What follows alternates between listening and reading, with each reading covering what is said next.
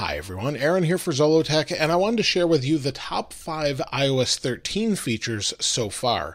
Opinions change over time, and so far, after using this for a little while, I wanted to share my top 5 features. And the first one I didn't think I would say, but the first one is dark mode. And I don't typically like dark mode all of the time, and that's one of the features I discovered after using it for a while. It has an automatic setting, so during the day, it's on light mode, and then at night, after sunset, it flips to dark mode, which is really helpful when it's dark outside or just dark in a room and you want to read. I really enjoy this feature, and so I leave it on automatic all the time.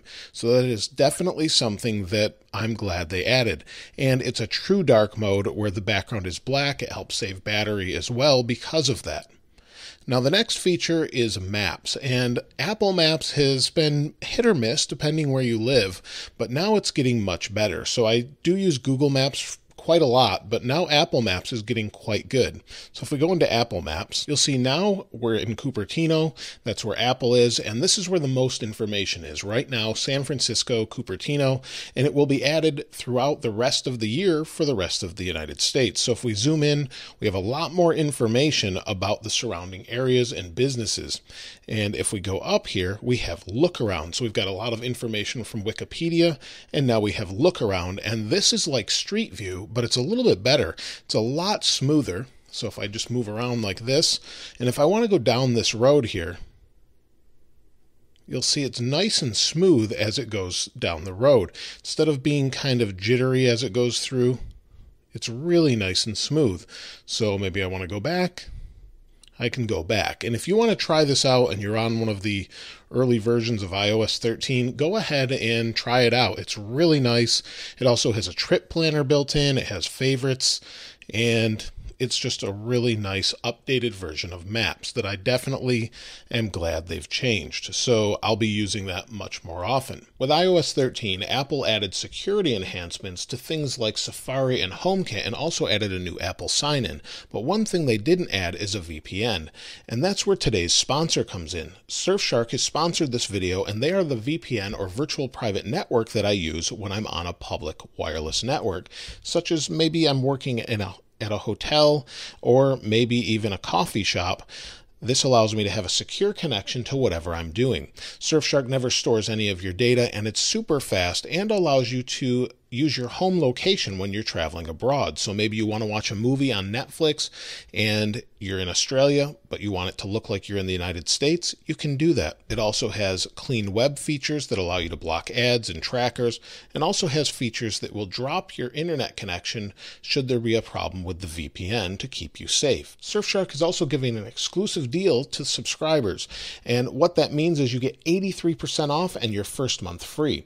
Go to surfshark.com slash Zollotech and enter the promo code Zollotech. My third favorite feature is voice control. And voice control allows you to control your entire phone using your voice. And it looks like because of this, they have really improved voice dictation. It's hit or miss, but it seems to be much better than it used to be. So let's go into settings.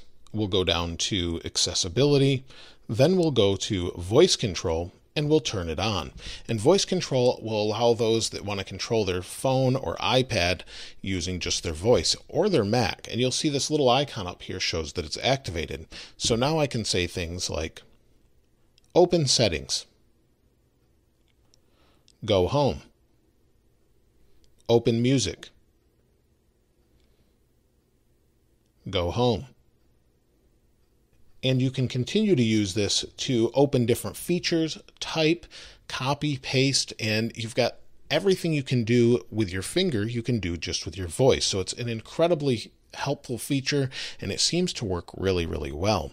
And along with typing is a new feature called Quick Path, and this is basically a swipe feature on the keyboard, but this is secure, so you're not sharing your information with other companies, so you can just use Quick Path. So you can say, Hi, how are you today?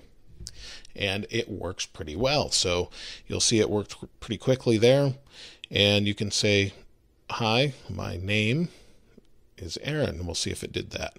So it kind of works. It, it's getting better and better as the updates keep coming, but QuickPath is a very helpful feature that's secure. The last feature that probably gets overlooked the most is performance.